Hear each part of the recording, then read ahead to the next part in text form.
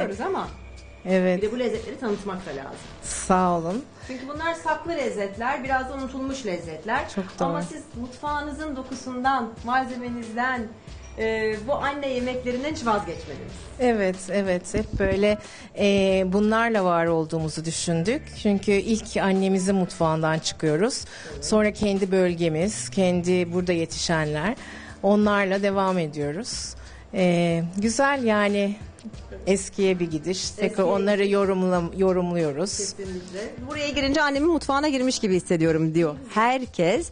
Ee, ve tabii bizler de çok seviyoruz. Şimdi sizin tabii tarifleriniz, lezzetleriniz çok farklı. Bugün sevgili kendine iyi bak izleyicileri için bu harika patlıcanlı pilavın tarifini de verecek. bize. Evet. Öyle fazla tarif vermez Ayşe Hanım bilmiyorum. Bunu da bizim için özel yaptı efendim.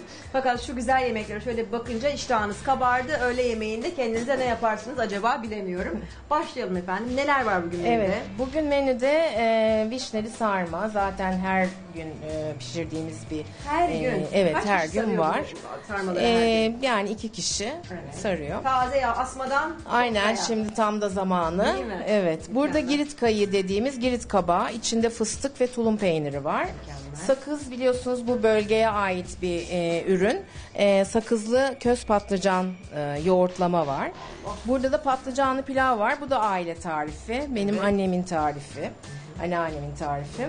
İçinde ne var? Burada biz birçok baharat görüyorum. baharatlı Bu kullanmış yapıyoruz olduğunuz biz. baharatların e, burada aslında Aynen. özelliği var. Tabii. Peki efendim. Şimdi neler var burada? Şimdi patlıcanları biz önceden kızarttık. evet. Ee, tabii ki pilav ol pirinci var. Soğan, bol soğan. Yani bundan daha bol soğan da kullanabilirsiniz. Ee, domatesi var. Yeşillikler, nane, dereotu ve maydanoz. Ve ne kadar bol. Ee, evet, bol bol yeşillik koyuyoruz. Ee, burada da tarçın var, karanfil var, yeni bahar var ee, ve e, beyaz biber var. Çok güzel. Zeytinyağı ile pişiyor. Tarçın, karanfil. tarçın, karanfil, yeni bahar ve beyaz biber. Mükemmel. Tuz ve şeker de koyuyoruz. Biz birazcık şeker koyuyoruz. Şeker bu aslında Ege'de zeytinyağlılar mutfağındaki en büyük sırlardan Evet. biridir. Yani bir kesme şeker. bir evet, tık. evet. Bir O tık lezzeti şeker verir. o lezzeti veriyor. Çok doğru. Mükemmel.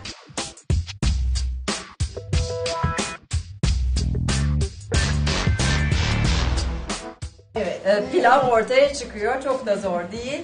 Ee, aslında sadece yaratıcılık, baharatlar. Evet, baharatlar. Şimdi- ama sizin lezzetin, elin lezzetinde bir şey var.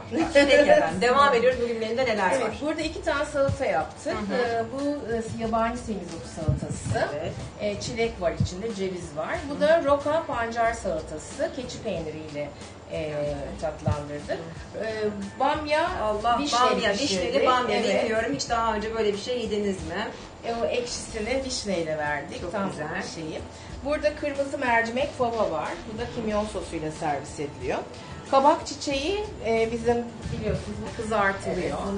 Enginar var, yine Burada patlıcan, kabak, sezon Burada- sebzeleri diyelim. Ada Lezzet- çaylı enginar var. Bu da e, güzel bir e, şey. Buluş oldu bizim için. Ada çaylı Tarlada, enginar. Evet bol ada çayımız vardı. Onunla beraber e, bir, e, birleştirdik, pişirdik. Çok güzel oldu. Bu, bu halamın tarifi sinkonta, bal kabaklı. Burada da e, Görünce- bahçeliyoruz tarator sos. Daha ne olsun? Daha ne olsun efendim? Bunun yanı sıra e, sizin neyiniz var? Kimyonlu köfteniz, Evet. tarçınlı köfteniz Tarçınlı ve köfte. tandırınızda